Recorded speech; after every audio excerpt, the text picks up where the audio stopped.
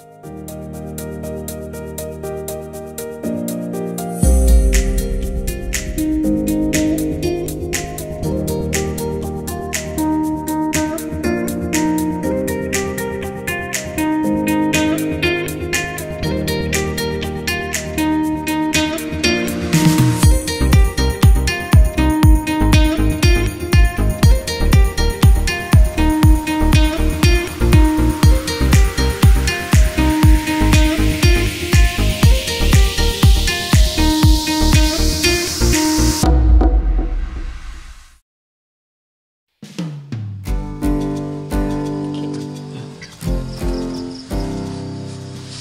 วัสดีครับ วันนี้เรามารีวิวกล่อง power box อันนี้กันนะครับ เป็น power box ที่เราทำเองเนี่ยผมทำขึ้นมาเองกับมือเลยนะเนี่ย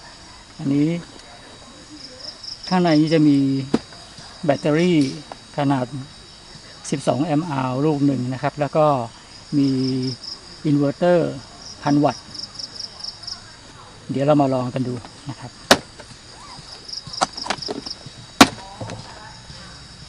อันนี้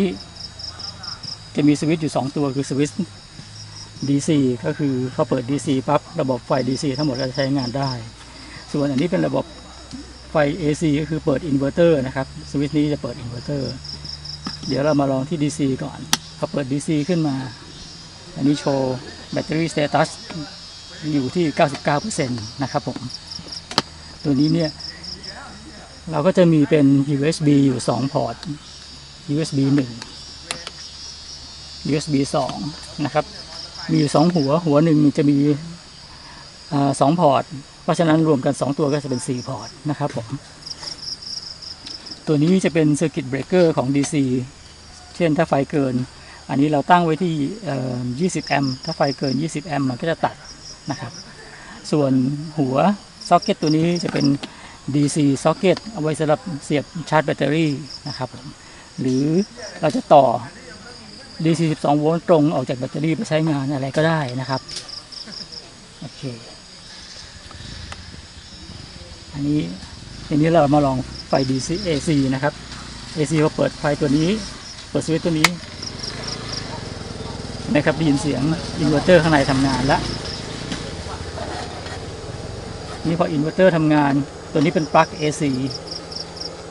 ออกจะมืดหน่อยนะครับ ถ้าไม่เห็นก็ imagine เอาหน่อยแล้วกันว่านี่คือปลั๊ก AC นะครับผมเสียบปึ้งเข้าไป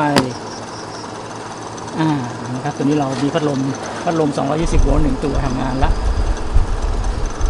ก็เย็นพอสมควร จ่ายไฟ AC ได้พันวัตต์ แต่ตัวนี้ไม่รู้พัดลมตัวนี้มันใช้สักกี่วัตต์นะ ไม่น่าจะเกิน 80 วัตต์ ก็น่าจะโอเคใช้ได้ดีครับผม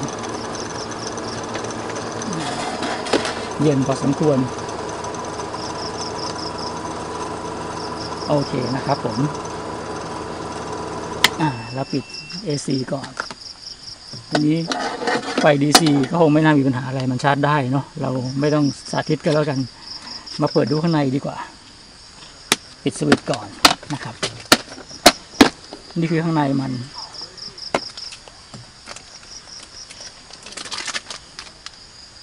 ครับนี่เราก็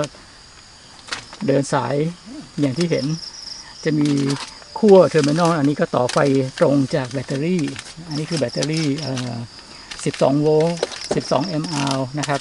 ส่วนอันนี้ก็เป็นอินเวอร์เตอร์ 1,000 วัตต์นะครับผม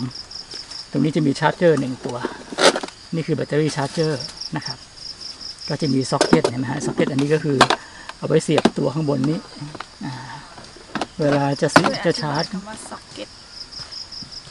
โอ้มีคนถามว่าซ็อกเก็ตคืออะไรซ็อกเก็ต ภาษาช่างนะครับเขาเรียกว่าโอเคเอิ่มขั้วต่อไฟแบบที่มันเป็นตัวผู้ตัวเมีย เป็นรูเสียบตัวเมีย กับตัวผู้ อันนี้คือตัวเมียนะครับ ส่วนตัวที่ติดอยู่กับกล่อง power box เป็นตัวผู้ male กับ female นะครับผมนี้ก็คือถ้าเราจะชาร์จแบตแต่พอดีตอนนี้ ผมอยู่ที่เต็นท์ไม่ได้อยู่ที่บ้านนะครับเลยไม่สามารถสาธิตได้ เพราะว่าเราต้องเสียบไฟบ้านเพื่อจะชาร์จมัน ส่วนที่ว่าซ็อกเก็ตจะเสียบชาร์จก็คือนี่ครับ ก็เสียบตรงนี้เข้าไปนะครับเนี่ยครับเสียบอย่างนี้ เห็นนะครับ แล้วปลั๊กตัวนี้แล้วก็ต่อเข้าไฟบ้าน มันก็จะชาร์จละนะครับ ตัว charger ก็จะบอกสถานะของแบตเตอรี่ แล้วก็ voltage ที่กำลังชาร์จอยู่ว่าได้กี่โวลต์ปกติเวลามันชาร์จมันจะอยู่ประมาณสัก 14 โวลต์นะครับโอเค ก็มีประมาณนี้นะครับผม 1,000 วัตต์นะครับ AC ส่วน DC ก็เป็น 12 mAh